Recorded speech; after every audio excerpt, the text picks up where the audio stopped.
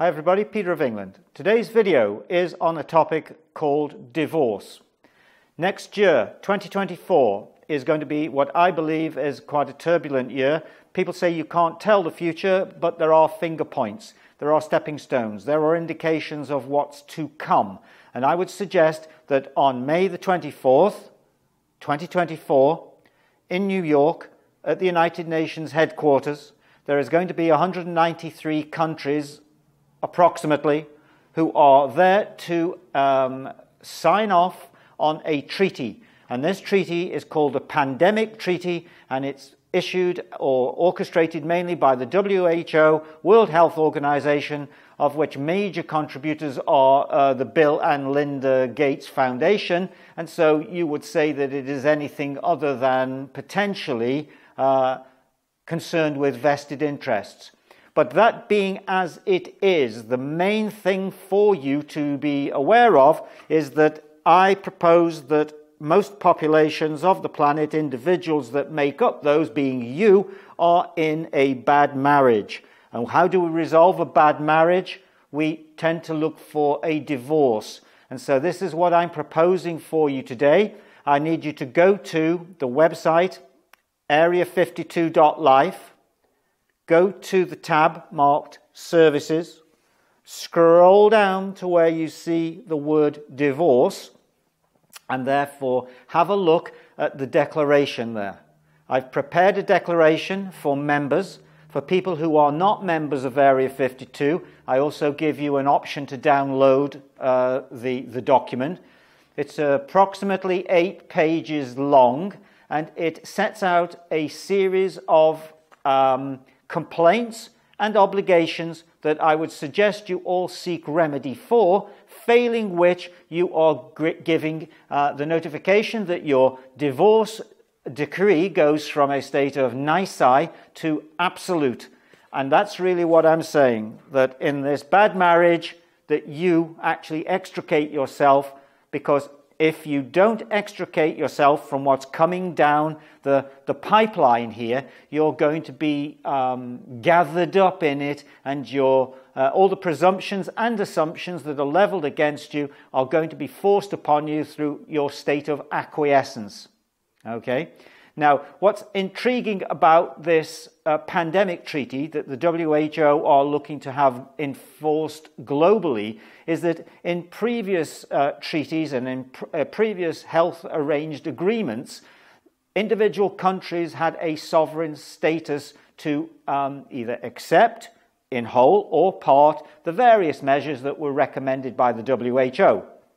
From next year, in May, if this treaty is signed, a lot of those self determinacies are no longer allowed. They're being struck through or struck out. Not only that, a lot of the humanitarian individual right to make a decision as to how your, your body or your health is looked after are also to be struck out. So I would suggest for those who want to do some research on this, go and have a look at the means of what's, uh, uh, uh what's um, suggested within the treaty and see if those, those terms that you uh, are going to have forced upon you are acceptable to you. And I would say for most people, um, the absolute right to self determination on these things concerning your own health are paramount. So the divorce that I'm suggesting, the declaration of divorce, uh, as an anagram, it's a, a, declaration intended, voiced, or recited, uh, communicating exit. And this is what you're really looking to do. Now, this divorce declaration is there for you to print off and send to whoever you wish to communicate the fact to that things have changed you're now under a different management system, which could be much, much sought after, should be actually your own. Um, and that has also been coupled to a, uh, an opportunity for you to call for help. Um, the realm or area of Area 52, ex terra, is designated to be beyond the seas, beyond their help, beyond their land, beyond their control.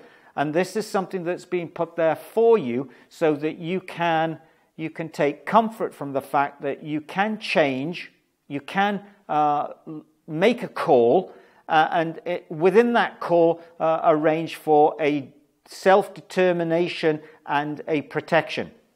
Because if you don't make the statement, then the old school um, control agenda, the acquiescence by just general acceptance, is going to prevail.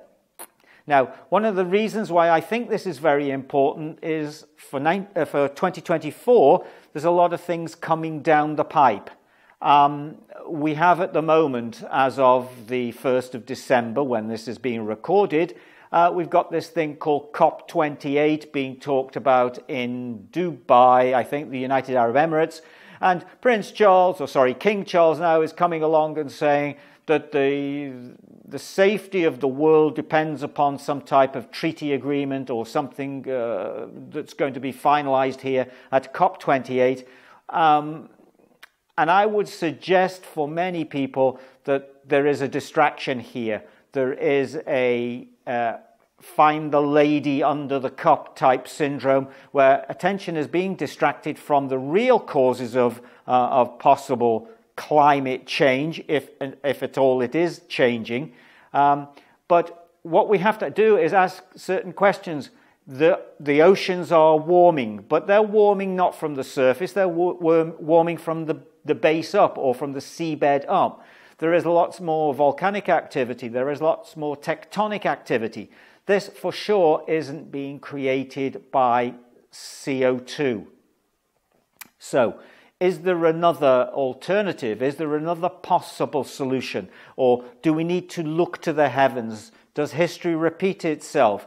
And I would suggest that um, talk in the papers around this time and on media uh, outlets generally are talking about coronal mass ejections from the sun uh, that are going to take out possibly electricity or uh, satellite communications or the power grid generally.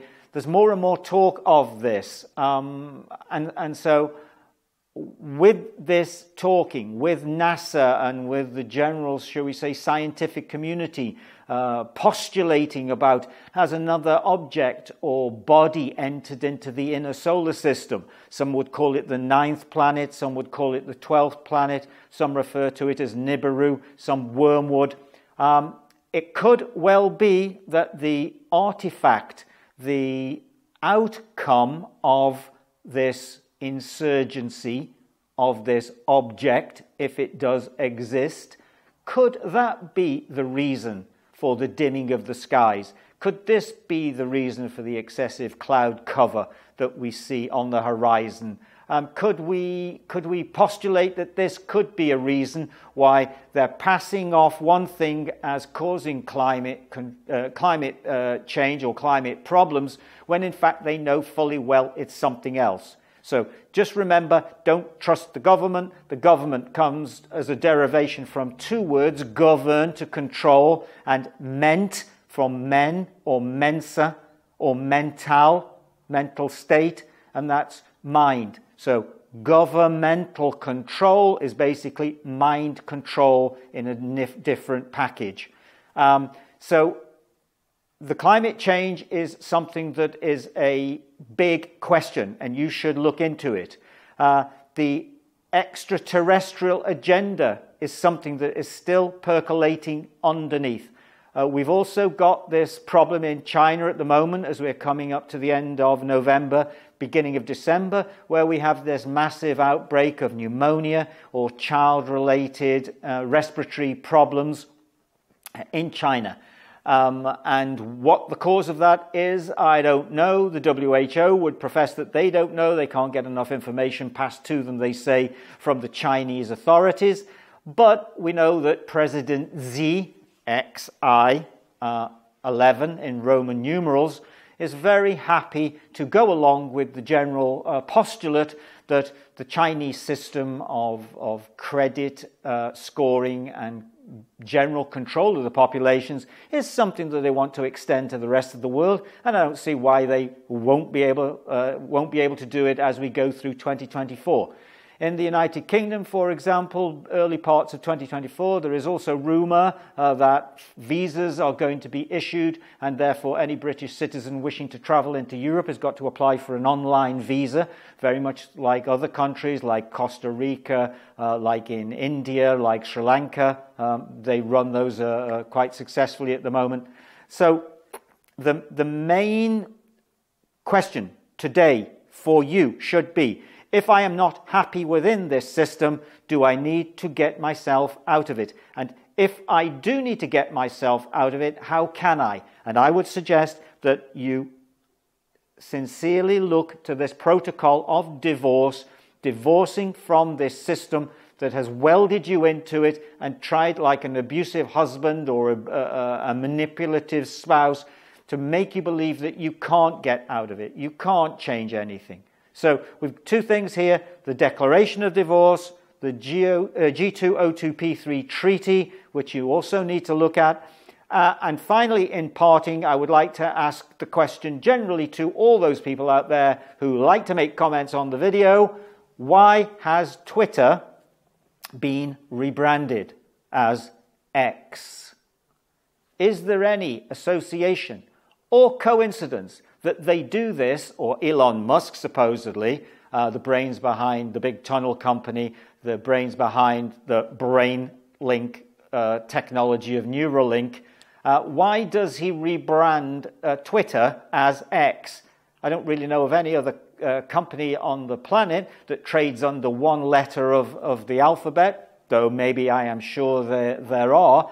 But the planet of the crossing, the X, the symbolism of the Passover, where um, the, the Judeans marked an X on their lintels uh, so that they would escape the angel of death and be warned of the time to leave um, th- their houses to escape.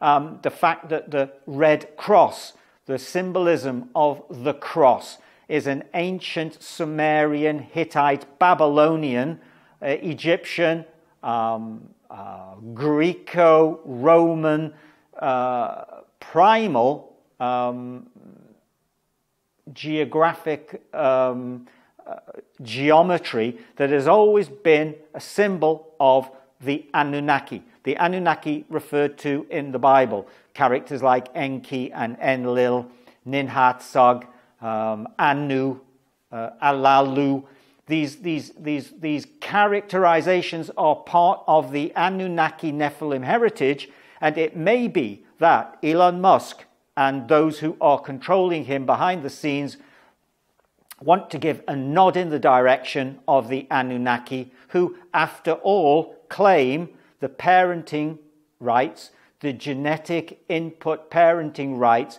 for the monkey suits that you walk around in, uh, often called the human body. We have a spiritual dimension, we have a physical, material, bodily identification here, and the two are distinctly separate. However, the suit that you are walking around in has been loaned to you by a group of um, beings that might be coming back to uh, put the house in order. So, if you can't imagine that happening, if you can't imagine uh, a group uh, of beings coming along to save humanity from itself, then could you imagine four years ago that the entire population of the country would be uh, rendered uh, uh so compliant to accept something? And also uh, to have these, uh, these masks on and to be locked down, uh, frightened to touch each other, frightened to go and kiss goodbye to loved ones if they had the opportunity to do so uh, in, in old people's homes or in hospitals, in fact, even not being allowed to. If you couldn't imagine that, therefore you don't think that that could have been possible, how much different is it now? Yeah? So that's the mindset I'm trying to present to you here now. You need to go into, or at least explore, a realm, an agenda that liberates, separates, divorces you from the abusive, static, non serving, creative relationship that somebody has put you into, which isn't It isn't the best way for you to become a creative spiritual being to take the next steps in their, their evolutionary ascension. So, with that, thank you very much for watching. If you like it, pass it to somebody because we appreciate the views. Press the subscribe button. Peter of England saying thank you.